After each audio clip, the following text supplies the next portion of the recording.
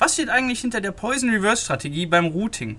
Wir gucken uns das mal an. Ich habe hier so ein äh, Netzwerk gezeichnet aus drei Routern, T1, T2, T3. Hier stehen jeweils die Kosten an den Kanten.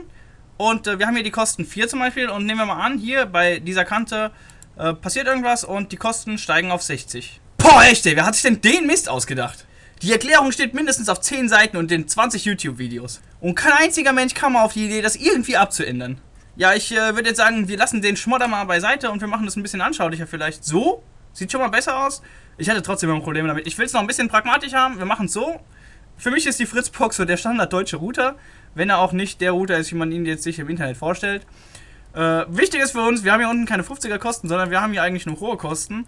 Und die hohen Kosten sind eigentlich nur dafür da, damit äh, der Router nicht direkt mit diesem hier kommuniziert. Und das ist alles, wofür es da ist.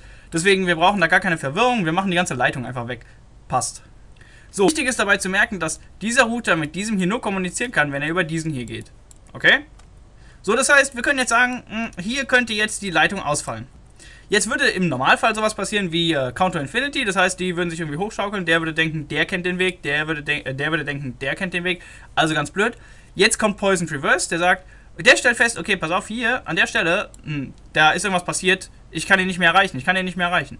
Also sagt der einfach seinem Router, mit dem er verbunden ist hier, pass auf, die Kosten zu dem hier, die kenne ich nicht mehr, die sind unendlich, ich kann ihn nicht mehr erreichen. Und dann hat der hier in seiner kleinen Routing-Tabelle irgendwo was stehen und sagt, okay, Moment, äh, das geht gar nicht mehr, den kann er gar nicht mehr erreichen.